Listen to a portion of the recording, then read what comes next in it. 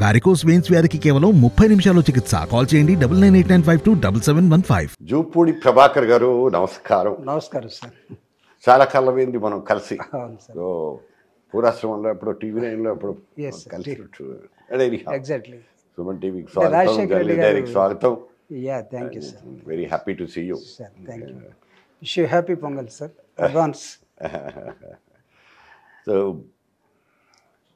Prabhakar garu మీరు వైఎస్ఆర్సిపి అధికార పార్టీకి కొన్ని స్థాయిల్లో మీరు అడ్వైజర్గా కూడా ఉన్నారు. ఎస్సీ వెల్ఫేర్కి సంబంధించి తర్వాత పార్టీ పరంగా ఉన్నటువంటి యంత్రాంగంలో ఉన్నారు. ఎమ్మెల్సీగా చేశారు. మీ ప్రయాణంలో ఫస్ట్ నాకు తెలిసి వైఎస్ దగ్గర నుంచి వైఎస్ఆర్సిపి వైఎస్ఆర్సిపి నుంచి తెలుగుదేశం పార్టీ తెలుగుదేశం పార్టీ నుంచి మళ్ళీ వైఎస్ఆర్సీపీ. యూటర్న్. ఎందుకలా యూటర్న్ చేసుకున్నారు? అంటే నాకు సీఎం గారు అంటే జగనన్న అంటే చాలా ఇష్టం సార్. Number one. ఎందుకు అని అడిగితే. రాజశేఖర రెడ్డి గారు నేను డిఫెన్స్లో ఒక సీనియర్ మేనేజర్గా పనిచేస్తూ ఉండేవాడిని. నా బహిరంగ సభ ఒకదాన్ని చూసి నా స్పీచ్ని చూసి నువ్వు నాకు అవసరం అవుతావు రమ్మని నన్ను రిజైన్ చేయించి తీసుకొచ్చి ఆ రోజు నాకు ఎమ్మెల్సీ ఇస్తాడని తెలియదు కేవీపీ గారు రామచంద్ర ఐ మీన్ రాజశేఖర రెడ్డి గారు ఇద్దరు కలిసి రెండు వేల ఏడు మార్చి ఇరవై ఎనిమిది నాడు నాకు ఎమ్మెల్సీ ఇచ్చారు సార్. సో రెండు వేల తొమ్మిదిలో ఆయన సడన్ డిజపీరెన్స్ డెమైస్ ఇది జరిగిన తర్వాత నేను literally I was into crossroads అంటే ఉద్యోగానికి రిజైన్ చేసి టూ ఇయర్స్ అయింది. ఇంకొక ఇరవై ఐదు సంవత్సరాల సర్వీస్ ఉంది. ఏం చేయాలో తీసుకొచ్చిన నాయకుడు లేడు. రాజకీయాల్లో మీకు తెలియదే ఉంది గాడ్ ఫాదర్ లేకుండా ఉండే పరిస్థితి కనపడలేదు. సో ఆయన లేడు నెక్స్ట్ ఏం చేయాలి అని అనుకున్నప్పుడు తండ్రి లేని బిడ్డకి అండగా ఉండాలనుకొని నా ఎమ్మెల్సీ రోసీ గారు ముఖ్యమంత్రిగా మా జిల్లా అయినా సరే ఆయన నువ్వు నాతోనే ఉండాలంటే ఒక నమస్కారం సార్. నేను మీ మనిషిని కాదు అని అన్నాను. అంటే మీకు తెలుసు కదా రోష రోసయ్య గారు చాలా చాణక్యుడిగా మాట్లాడతాడు. అంటే దాని అర్థం ఏంటంటే నా ఎవరు మనిషి అన్నాడు? రాజశేఖర రెడ్డి గారు. నేను కూడా రాజశేఖర రెడ్డి మనిషినే కదా. అని అన్నప్పుడు Saaho I travelled with along with Jagan from Odarpu Yatra sir మళ్ళీ ఎందుకు అక్కడి నుంచి వెళ్ళిపోయారు? నాకు? కొండేపి ప్రకాశం జిల్లాలో ఎలక్షన్లో నన్ను సీఎం గారు జగన్మోహన్ రెడ్డి గారు కంటెస్ట్ చేయమన్నారు. కొంచెం లోకల్ ఇష్యూ నాకు బాధ పెట్టింది. అది చాలా పెద్ద స్టోరీ సార్. ఓకే ఇప్పుడు మళ్ళీ రివీల్ చేసుకుంటే మళ్ళీ అది నాకే ఇబ్బంది అవుతుంది. తొక్కన ఒక్కర్లేదులేండి. ఏదో జరిగింది వెళ్ళిపోయారు మళ్ళీ వచ్చారు ఆ పార్టీకి. సరే. అంట్రాని వసంతంలో కళ్యాణ్ రావు ఒక మాట అంటాడు తవ్వాల్సింది చాలా ఉంది పోర్చాల్సింది చాలా ఉందని. సో అక్కడి నుంచి బయటకు వచ్చిన తర్వాత ఆ, లో ఎమ్మెల్సీగా కౌన్సిల్ ఉన్నప్పుడు చాలామంది వచ్చి అడగటం తర్వాత రాష్ట్ర వ్యాప్తంగా నా అభిమానులందరూ కూడా మనకి ఇంత జరిగిన తర్వాత అని అనుకుని వాటి వెళ్ళటం జరిగింది. సరే వెళ్ళిన తర్వాత ఒక three and half years SC corporation చైర్మన్గా ఉన్నాను. తర్వాత రెండు వేల పంతొమ్మిది ఎన్నికల్లో జగనన్న తంపింగ్ మెజారిటీతో గెలిచిన తర్వాత ఒక్కరోజు కూడా ఆగలేకుండా తెలుగుదేశం పార్టీ వెంటనే ఆయన వ్యతిరేకమైన మూమెంట్ స్టార్ట్ చేసే దగ్గర నాకు డిఫరెన్స్ ఎక్స్ప్రెస్ చేశారు. Hmm. నా మైక్ లాగేశారు. డయాస్ మీదనే అసలు ఆయనకి ప్రజలు ఇచ్చినటువంటి మ్యాండేట్ని ఒకరోజు కూడా ఆగకుండా మీరు ఎంత ఆత్రపడాల్సిన అవసరం ఈ పార్టీకి ఉందా అని అడిగితే మైక్ కట్ చేశారు. ఈ లోపల సీఎం గారు జెరూసలేం వెళ్ళినప్పుడు అక్కడి నుంచి నాకు మెసేజ్ రావటం. నువ్వు మళ్ళీ తిరిగి వచ్చేసాయి అన్న అంటే నేను వచ్చేసాను సార్. Very simple. దాన్ని దీనిలో పెద్దగా మనం డిక్ చేయాల్సింది కూడా ఏం లేదు కానీ సింపుల్గా వచ్చిన తర్వాత నాకు ఒక అడ్వైజర్ పోస్టు ఆయన ఆఫర్ చేయటం తీసుకోవటం. సో మామూలుగా దళిత ఆస్పెక్ట్లో గత ఇరవై సంవత్సరాల నుంచి పీడిఎస్సి ఉద్యమాల నుంచి high school Kandukur college Jawahar Bharathi Kavali engineering Osmania Midhani Mishra Dhatu Nigam limited ఉద్యోగం హైదరాబాద్లో దళిత ఉద్యమం కమ్యూనిస్ట్ ఉద్యమం ఇవన్నీ చూసిన తర్వాత ఎందుకు రాజశేఖర రెడ్డి గారి తోటి నిజమైన మనిషి అంటే ఈయన మానవత్వం కలిగినటువంటి హృదయాన్ని పరచగలిగినటువంటి వ్యక్తి అని ఆయనతోటి ప్రయాణం. మా ఆయన మిస్ అయిన తర్వాత ఆయన కొడుకుతోటి ప్రయాణం చేస్తున్నాను సార్. ఇప్పుడు రెండు వేల పంతొమ్మిదిలో జగన్మోహన్ రెడ్డి గారి హవా నడిచింది. ఓకే నూట యాభై ఒక్క సీట్లతో ఆయన పాదయాత్ర వ్యవహారాలు ఇవన్నీ తెలిసినవే. అయితే ఆ పరిస్థితి ఇవాళ కనిపించట్లేదు. నిర్మమాటంగా నా అభిప్రాయం చెప్తున్నాను కనిపించట్లేదు. అధికార పార్టీకి కొంత వ్యతిరేకత అనేటువంటిది ఉంటుంది. అది వాస్తవం. అయితే రెండు వేల ఇరవై నాలుగుకి అది పెరుగుతుంది అనేటువంటి ఒక అభిప్రాయం కూడా అది ఆ అభిప్రాయం వెలిబుచ్చిన వాళ్ళు వేరే పార్టీకి చెందిన వాళ్ళు ఉండాల్సిన అవసరం లేదు. వేరే పార్టీ వాళ్ళే కాదు. ఈవెన్ ఒక జర్నలిస్ట్గా ఇండిపెండెంట్గా మనం అబ్జర్వ్ చేస్తుంటే బయట ఉన్నటువంటి ఈ వ్యతిరేకత ఏ ఏ వర్గాల్లో ఎంత శాతం ఉందనేటువంటిది మళ్ళీ దాని మీద అభిప్రాయ భేదాలు ఉన్నాయి.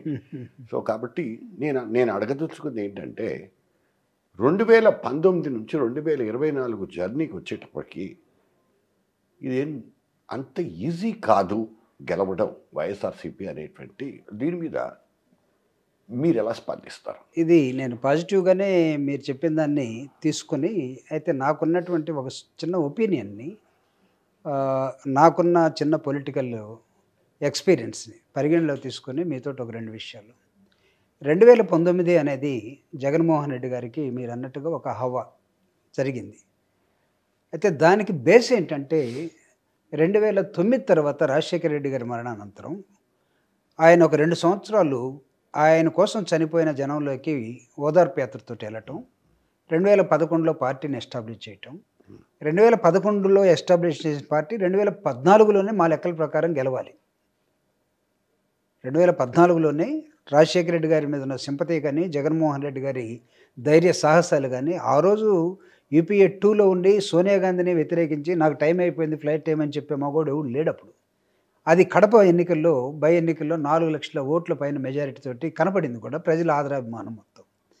అయితే దాని బేస్ అంతా కూడా రెండు వేల తొమ్మిది రెండు వేల పదకొండు ఆ బేసు రెండు వేల పదకొండు తర్వాత జరిగినటువంటి ఎన్నికల్లో జగన్మోహన్ రెడ్డి గారు గెలుస్తారనుకున్నదే అరవై ఏడుతోటి ఆగిపోవటం.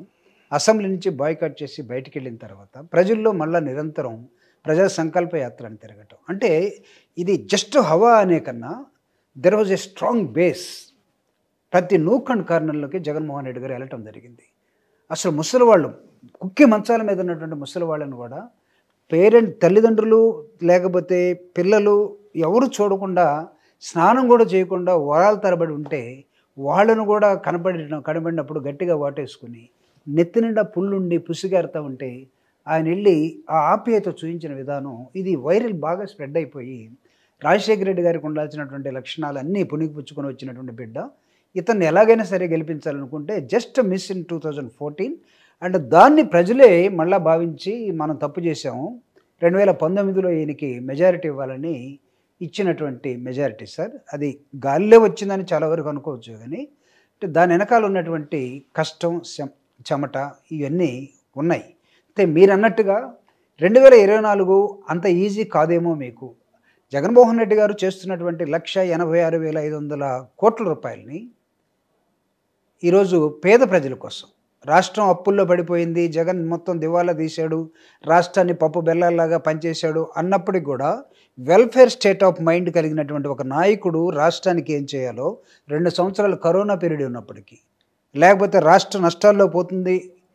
అంటే పబ్ గవర్నమెంట్ని మనం ఎప్పుడు కూడా లాభాల్లో నడిపించడానికి ఇదేమి సృజన స్టీల్ ఇండస్ట్రీ కాదు. లేకపోతే పబ్లిక్ సెక్టర్ లాభాలు నడిచే కోల్ ఇండస్ట్రీ అంతకన్నా కాదు. దీన్ని లాభ నష్టాలతోటి వేరే వేరు చేసుకోలేము. సో కాబట్టి వెల్ఫేర్ యాక్టివిటీస్ని తీసుకొచ్చినప్పుడు జగన్మోహన్ రెడ్డి గారు ప్రజలకి పేద ప్రజలకి అట్టడుగునున్నటువంటి below poverty line thirty percent of the people now ప్రభుత్వ లెక్కల ప్రకారమే బిలో పావర్టీ ఈ విషయంలో సారీ ఫర్ ఇంటరప్షన్ ఏంటంటే will not go into the graphic details of the whole thing నేను అనేది ఏంటంటే సంక్షేమంతో పాటు అభివృద్ధి కూడా ఉండాలి. ఈ అభివృద్ధి ఏమో కుంటుపడింది. అభివృద్ధి ప్రా ప్రాజెక్టులకు సంబంధించిన దాంట్లో ఫైనాన్స్ చేయట్లేదు. ప్రాజెక్టులు ఏమో వెనకబడిపోతున్నాయి. ఇక్కడేమో స- మొత్తం డబ్బంతా కూడా సంక్షేమానికి మాత్రమే వెళ్తుంది. పెద్దపీట వేశారు అనేటువంటి విమర్శ ఉంది కాబట్టి. దాన్ని సరే మీరు దాన్ని ఏ విధంగా తీసుకుంటారు అనేటువంటి పక్కన పెడితే నేను అడిగినటువంటి ప్రశ్న ఏంటంటే రెండు వేల పంతొమ్మిదిలో ఎవరిని నిలబెట్టినా వైఎస్ఆర్సీపీ తరఫున ఎవరిని నిలబెట్టినా గెలుచుకొచ్చారు. గెలిచారు. అది అందుకని హవా అన్నాను. సో ఆ పరిస్థితి రెండు వేల ఇరవై నాలుగులో లేదు కదా అంటున్నాను. అవును సార్ దాన్ని అంటే యూపీఎస్సీ సెలక్షన్లో చిన్న సేయింగ్ ఒకటి ఉంది సార్. యూపీఎస్సీలో ప్రిలిమినరీ మెయిన్స్ ఇంటర్వ్యూ మూడు భాగాలు మూడు. భాగాలు. కొటారి కమిషన్ రికమెండ్ చేసింది. దీని మీద పార్లమెంట్లో ఒకసారి ఒక ఎంపీ క్వశ్చన్ అడిగాడు. ఎందుకు అనవసరం డబ్బు తగలబెడతారు? యూపీఏ ఇది మూడు సెలక్షన్లు మూడు స్టేజీలు ఎందుకు? ఏది ప్రిలిమినరీ పెట్టడం ఎందుకు? మెయిన్స్ పెట్టడం ఎందుకు? తర్వాత ఇంటర్వ్యూ ఎందుకు? ఎన్ని డబ్బు వృధా కదా అంటే కొటారి రాసిచ్చినటువంటి ఆ మంత్రికి కన్సర్న్డ్ డిఓపిటి మినిస్టర్కి రాసిచ్చిన ఆన్సర్ ఏంటంటే వై ప్రిలిమినరీ ఈజ్ రిక్వైర్డ్ అంటే to keep the rascals out మీరు అన్నట్టుగా రెండు వేల పద్నాలుగులో పద పంతొమ్మిదిలో చాలామందిని జగన్మోహన్ రెడ్డి గారు సెలెక్ట్ చేశారు. సో ఇప్పుడు మీరు చెప్పినట్టుగా రెండు వేల ఇరవై నాలుగు నేను అందుకే పాజిటివ్గానే తీసుకొని ఆన్సర్ చేస్తాను సార్ అని చెప్పాను. రెండు వేల ఇరవై నాలుగులో అది మేము చేస్తున్నటువంటి వెల్ఫేర్ యాక్టివిటీని కొన్ని వేరే విధంగా విమర్శించే వాళ్ళు వితిన్ కానీ లేదా అవుట్ సైడ్ కానీ ఉన్న నేపథ్యంలో రెండు సంవత్సరాల ముందుగానే ఆయన ప్రతి గెలిచిన ఎమ్మెల్యేని తిరిగి గడప గడపకి వెళ్ళి మీరు ప్రజలకి పరిచయం చేసుకోండి. హీ నోస్ ప్రెటీ వెల్ వీళ్ళందరూ కూడా ఎవరి ముఖం ఏంటో కూడా తెలియకుండా నేను పెడితే గెలిచారు. కానీ వీళ్ళు పర్ఫామ్ చేసుకోవాల్సింది ఏంటంటే టూ ఇయర్స్ కరోనా వచ్చింది. థర్డ్ ఇయర్ నుంచి జగన్మోహన్ రెడ్డి గారు అది గుర్తించి మీరు గడప గడపకి వెళ్ళండి. ప్రభుత్వం ఏం చేసింది? ఇప్పుడు వాళ్ళ పరిస్థితి ఏంటంటే జగన్మోహన్ రెడ్డి గారు ప్రతి ఇంటికి ఏం పంపించాడు? ఈ ప్రోగ్రెస్ రిపోర్ట్ తీసుకొని అమ్మ మీకు అమ్మఒడి వచ్చింది కదా వచ్చిందయ్యా. ఓన్లీ ప్రోగ్రెస్ రిపోర్ట్ని ఎక్స్ప్రెస్ చేసి చదివచ్చే బాధ్యతని వాళ్ళకి అప్పచెప్పాడు ప్రజల్లో మమేకం కావటం కోసం. కొంతమంది నూట యాభై ఒక్క ఎమ్మెల్యేలు కానివ్వండి మిగిలిన వాటికి ఉన్నటువంటి ఇన్ఛార్జీలు కానివ్వండి. సో అదే క్రమంలో ఆయన ఇంకొకటి ఒక స్టాండర్డ్ని సెట్ చేశాడు. నూట డెబ్బై ఐదుకి నూట డెబ్బై ఐదు గెలిచి తీరుతాం. అంటే పాస్ మార్కులు కూడా రానటువంటి వాళ్ళని పిలిచి క్లాసు పిక్కిన మాట కూడా వాస్తవం కదా అంటే ఇది అందరితోటి మాట్లాడుతున్నాడు సార్. అంటే పాస్ మార్కులు దాకా రీచ్ కానటువంటి వాళ్ళని లేకపోతే బాగా ఉన్నటువంటి వాళ్ళని ప్రజల్లో ఉన్నటువంటి వాళ్ళని ఆయన వన్ టు వన్ పెట్టుకొని వాళ్ళని క్లాసిఫై చేస్తున్నాడు. ఎవరు ఎక్కడున్నారు? మీకు టైం ఉంది కాబట్టి మీరు వెళ్ళి తిరగండి. చివరిలో ఒకవేళ నేను టికెట్ ఇవ్వలేకపోతే దానికి బాధ్యులు కూడా మీరే అవుతారు. ఎందుకంటే జస్ట్ లైక్ దట్ తీసేశాడు జగన్మోహన్ రెడ్డి గారు. మీకు మళ్ళీ నెగటివ్ యాంగిల్ ఇంకోటి రావటం ఇవన్నీ కాకుండా యూ అసెస్ యువర్ సెల్ఫ్. మాకు ఉద్యోగస్తుల్లో మనకి ఈలు రాసే ఒక what we call it a ACRs అని ఉంటాయి. ఏసీఆర్స్ని ఇంతకుముందు ఏం చేశారు అంటే మీలా మా మీద ఆఫీసర్ అయితే మీరు రాసేవాళ్ళు. రీసెంట్ ట్రెండ్ ఏంటంటే సెల్ఫ్ ఏసీఆర్స్ రాసుకోవాలి. మీరు కూడా అసెస్ చేసుకోండి మీకోసం అని. సో ఇప్పుడు మీరు అసెస్ చేసుకోండి వేర్ ఆర్ స్టాండింగ్ మీరు అసెస్ చేసుకోండి ఎక్కడ లోపాలు ఉన్నాయో. ఒకవేళ ఎక్కడన్నా తగ్గితే నా నేను అనుకున్న స్టాండర్డ్ తగ్గితే ఖచ్చితంగా ఓ ముప్పై నలభై మందికి ఆయన రెడీగా పెట్టుకొని ఆల్టర్నేటివ్గా వెళ్ళటానికి కూడా సిద్ధంగా ఉన్నాడు అనేది మాకున్నటువంటి వర్గాలు పోగొట్ట కానీ లేకపోతే అఫీషియల్గా అప్పుడప్పుడు వస్తున్నటువంటిది బయట అనుకునేది ఇవన్నీ జరుగుతూ ఉన్నాయి. Is not simply just like that రెండు వేల పద్నా పంతొమ్మిదిలో మనం వచ్చాం కాబట్టి ఇప్పుడు కూడా వస్తాం. అనేది లేక- లేకుండా. ఈ సర్వీస్తో పాటు ఈ యాక్టివిటీతో పాటు మీరు ఇందాక ఒక మాట అన్నారు వెల్ఫేర్ తోటే నడుపుతున్నారు డెవలప్మెంట్ లేదా అంటే సార్ నాకైతే డెవలప్మెంట్ అంటే మనం చాలా బ్రిడ్జిలు కడతాం లేకపోతే రింగ్ రోడ్లు వేస్తాం లేకపోతే కావాలంటే చెరువులు రకరకాలుగా కావాల్సిన ఇస్తాం. ఇవన్నీ ఉన్నాయి. లేవని కాదు. ఇంకా కొత్తవి తీసుకోవాలంటే కూడా తీసుకోవచ్చు. అంటే ప్రతి వెల్ఫేర్ యాక్టివిటీలో కూడా డెవలప్మెంట్ ఉంటుంది. దాన్ని ఎందుకు చూడలేకపోతున్నా నాకు అర్థం కావట్లేదు. So there is for example ఒక పూరి గుడిసి ఉన్నటువంటి వాడికి జగన్మోహన్ రెడ్డి గారు తన కట్టించే ముప్పై రెండు లక్షల ఇళ్ళలో ఒక స్లాబ్ తోటి ఇల్లు కట్టిస్తున్నాడు. Is it not development for him నేను అడుగుతున్నాను. సో ఒక అసలు ఏమాత్రం చదువుకోవడానికి అవకాశం లేనటువంటి గ్రామంలో ఒక స్కూల్ని నిర్మించి దాన్ని ఇంగ్లీష్ మీడియంగా పెట్టి నాడు నేడు అని పెట్టి ఆ కుర్రవాడికి యూనిఫాము చెప్పులు బూట్లు తర్వాత బెల్టు ఒక బ్యాగు బుక్స్ మొత్తం అన్నీ తీసుకొచ్చి ఇస్తుంటే ఆ కుటుంబానికి is it not the development చూడటానికి ఇది వెల్ఫేరే సో మనం ఓట్లు అడిగేటప్పుడు ఎవరి దగ్గరికి వెళ్తాం?